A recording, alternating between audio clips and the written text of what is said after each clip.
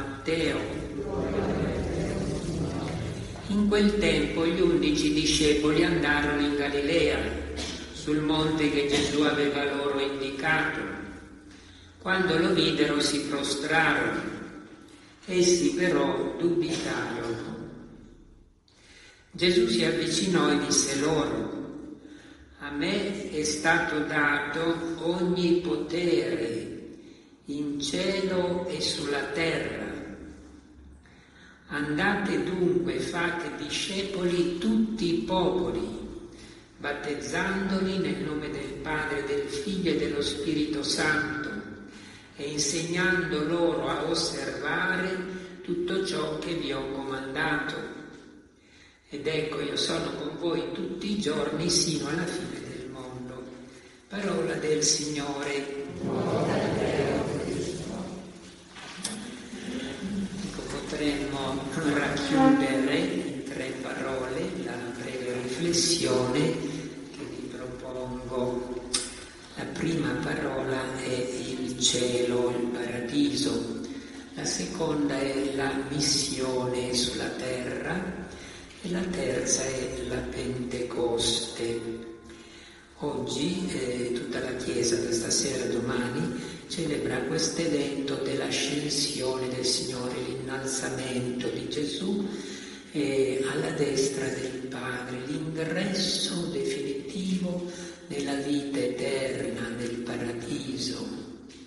È, è il più grande dei misteri, di questo noi ben poco possiamo dire ci aiutano un po' i mistici che parlano molte di queste visioni, di, questa, questo mistero grande.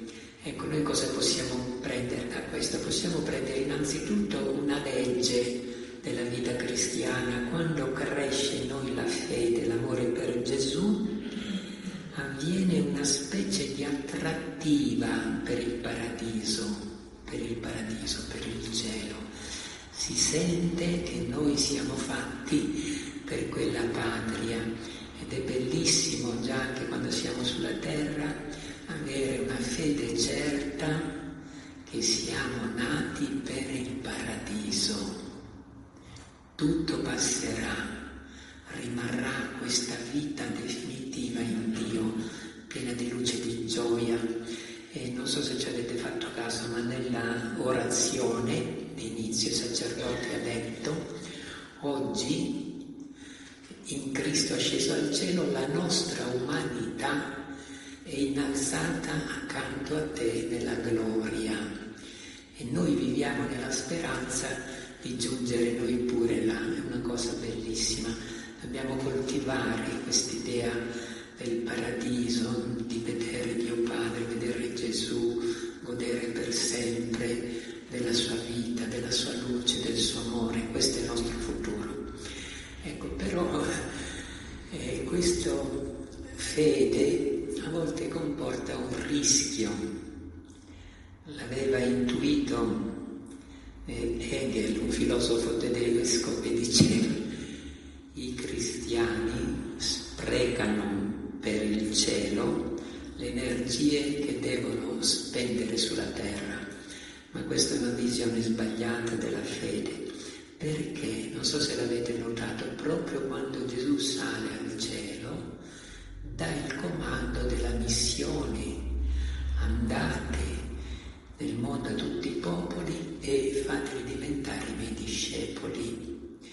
Noi abbiamo sulla terra una grandissima missione, da cui dipende non solo la nostra santità, il grado anche di amore che sviluppiamo per Dio, ma dipende la salvezza di altre persone. Ogni minuto sulla terra fa parte di questa missione e il Signore ci lascia qua giù finché Lui ritiene che dobbiamo portare avanti questa missione. Però questa missione è troppo grande, non è una missione commisurata alle nostre forze naturali. Gesù dà questo comando ai discepoli, non allontanatevi da Gerusalemme, aspettate compia la grande promessa che io ho fatto. Giovanni ha battezzato con l'acqua, voi sarete battezzati con lo Spirito Santo. Ecco, per compiere la missione che Dio ci dà abbiamo bisogno di questo Spirito. Adesso facciamo ringraziamento al Signore per rispondere anche un po' a questa parola e diciamo insieme grazie Signore. Grazie, Signore. Ci riveli il mistero della tua gloria.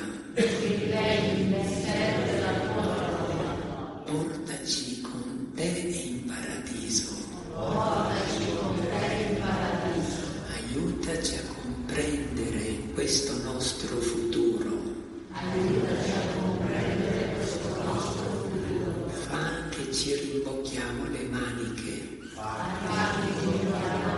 E intanto compiamo la missione che ci hai dato. E intanto compiamo la missione che ci hai dato. Riempici sempre